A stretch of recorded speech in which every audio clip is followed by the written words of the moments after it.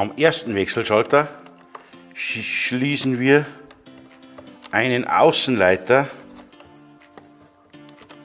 und den Neutralleiter an den Ausgängen des Wechselschalters, wo normal die korrespondierenden drin sind, an und die grün-gelbe Ader in den L-Kontakt.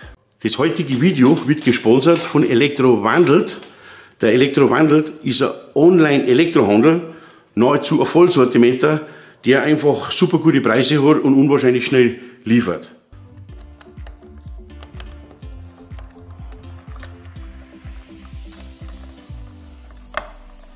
Herzlich willkommen zu diesem neuen Video. Der zweite Schalter wird auf die gleiche Art und Weise angeschlossen. Der Neutralleiter und der Außenleiter auf die Ausgänge des Wechselschalters und der grün-gelbe auf den gemeinsamen L.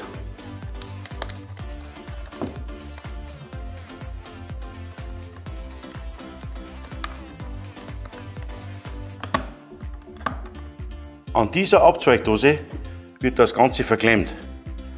Und mit drei Adern zum ersten Wechselschalter, drei Adern zum zweiten Wechselschalter, dreiadrig Zuleitung und die zwei Drähte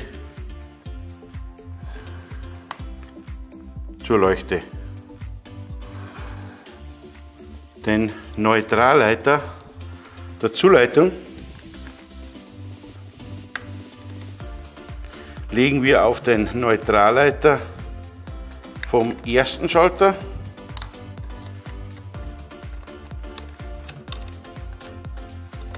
Und auf den Neutralleiter vom zweiten Schalter.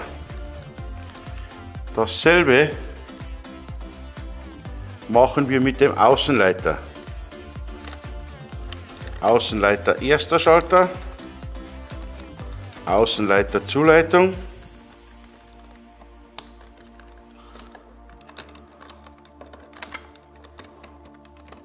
Außenleiter zweiter Schalter.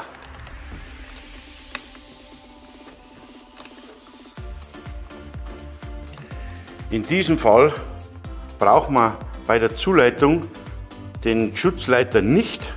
Den habe ich mit einer Klemme abgeschlossen. Einfach weg. Und jetzt kommt die zwei Adern von der Leuchte. Eine Ader, welche ist egal, auf den ersten grün-gelben vom ersten Schalter.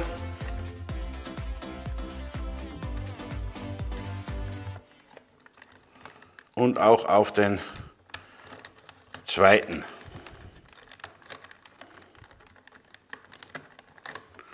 Und jetzt legen wir Spannung an.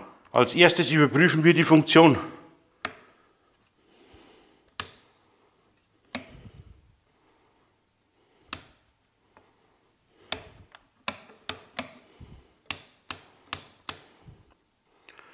Und dies ist jetzt die gefährlichste Schaltung der Welt. Gleichermaßen gefährlich wie beliebt. Und ich erkläre euch auch warum. Das sind jetzt die beiden Anschlussklemmen der Leuchte. Jetzt ist die Leuchte aus. Es dürfte doch auf keinem der beiden Klemmen Strom drauf sein. Ist aber.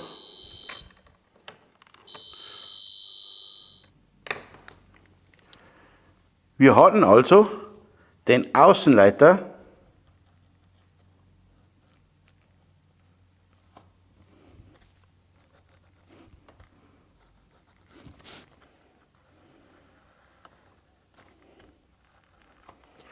mit jeweils einem Ausgang vom Wechselschalter verbunden, also mit einem der korrespondierenden. Und das gleiche auch mit dem Neutralleiter.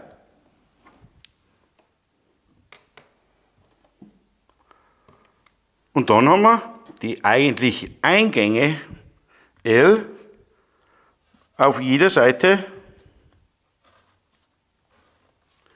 mit der Leuchte verbunden. Also Wechselschalter 1, das ist die Klemmstelle, Wechselschalter 2. Jetzt probieren wir das Ganze mal durch. L1. Außenleiter ist durch diesen Schalter durchgebrückt.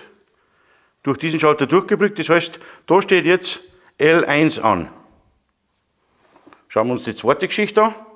Der Neutralleiter ist ja da offen. Der Neutralleiter ist auch hier offen, da ist keine, keine Verbindung. Allerdings auch der Außenleiter ist da wieder durchgebrückt und da liegt das zweite Mal L1 an. Mit zweimal L1 leuchtet diese Leuchte nicht, aber auf beiden Kontakten, beiden Kontakten ist ein Außenleiter. Früher hat man erklärt, das Schlimme war, wenn jetzt da eine E27 Glühbirne drin war, mit dem Schraubgewinde, hat das sein können, dass das Schraubgewinde unter Spannung ist. Selbstverständlich, das ist ein Thema, aber das Schlimmste an der Geschichte ist, dass sogar beide stromführend sein können. Jetzt wenn wir da, gehen wir das Ganze, gehen wir das Ganze anders durch. Den Schalter lassen wir, das heißt, da liegt L1 an. Da liegt L1 an.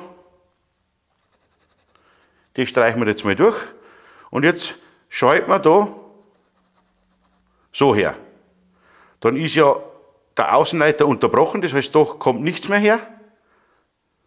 Da ist das wie immer, Neutralleiter unterbrochen. Nur da geht der Neutralleiter, dann liegt einmal der Außenleiter, einmal der Neutralleiter an, was dafür sorgt, dass die Leuchte leuchtet. Das Ganze kann man jetzt 100 Mal, 100 Mal wechseln. Bleibt so. Ich bedanke mich bei Elektrowandelt, der das heutige Video gesponsert hat. Elektrowandelt ist ein Elektrofachhandel, ein Online-Fachhandel, bei dem es alles, was braucht, für Elektroinstallationen kriegt. Link ist in der Videobeschreibung. Eins muss klar sein, diese Schaltung ist selbstverständlich verboten. Selbstverständlich verboten. Darum habe ich, sage ja, gleichermaßen beliebt wie auch gefährlich. Gefährlich, weil man eben gar nicht wissen kann, wo Strom drauf ist und wo nicht Strom drauf ist. Man klemmt irgendwas ab. Man hat ja da auch höchstwahrscheinlich einmal einen schwarzen oder einen braunen und einmal einen blauer. Und dann hat man plötzlich auf dem blauer einen Strom drauf. Ist wirklich gefährlich. Aber warum jetzt dann gleichermaßen beliebt? Naja, weil man unwahrscheinlich wenig Adern braucht. Äh, die normalen, modernen Wechselschaltungen, so wie es heute gebaut werden, muss von Wechselschalter zu Wechselschalter eine fünfadrige Leitung. Äh, in Altbauten, früher mit der klassischen Nullung, hat man ja auf, jede, auf jeden Schalter eigentlich nur, nur, oder auf jede Steckdose, jede Zuleitung nur zweiadrig, nur zweiadrig gemacht. Da hat es dann die dreiadrige gegeben. Wenn dann drei Adern drin waren, hat man das schon machen können. Das Gute an der ganzen Geschichte ist, da an jedem Schalter Neutralleiter und Phasen ist, drum, ich sag's nochmal, diese Schaltung ist verboten, war aber trotzdem beliebt, weil an Schalter hat man L1 gehabt, am Schalter hat man einen Neutralleiter gehabt. Das heißt, man hat ohne weiteres eine Steckdosen unterm Schalter dazu bauen können, ohne dass irgendeine großartige Verdrahtung gemacht werden hat müssen. Selbstverständlich, ich muss das Namen, ich kann das gar nicht oft nur sagen, diese Schaltung ist verboten. Verboten. Trotzdem war sie sehr beliebt.